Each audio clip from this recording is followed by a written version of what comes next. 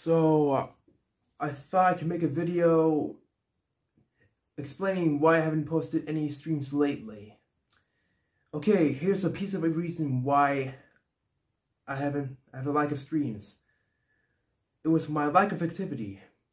So I wouldn't want to apologize for it. And but no, it wouldn't mean I'd have to stop streaming. For, that I would consider to end all of my future live streams. That's one reason I have already mentioned before. So, I'm sure you guys understand that. Oh yeah, I think, oh yeah, I there's one problem I when streaming.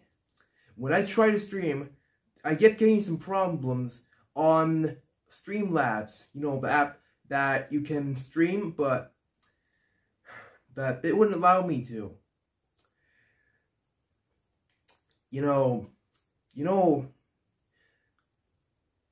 when you clicked on the Go Live um, button, where and then you click, uh, select which broadcast you want to, which platforms you want to broadcast, like YouTube.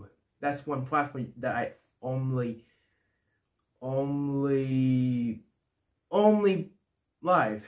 I only pick for my live stream broadcast and you know what they say? You want to know what they say.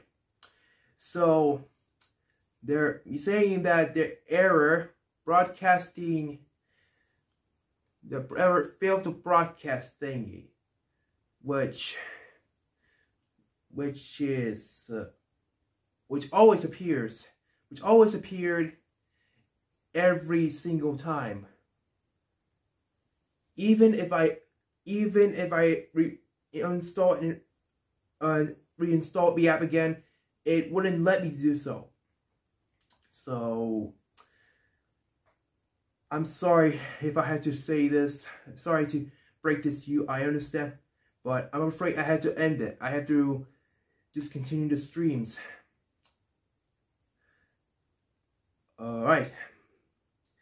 Since because of error, without this error, I would just, I would have just make, I will just have continued making them. Anyway, uh, what else? Okay, I guess, so that's exactly the problem that I haven't live streaming. I haven't streamed for a while. Anyway, I guess that's it for this video. So, see ya.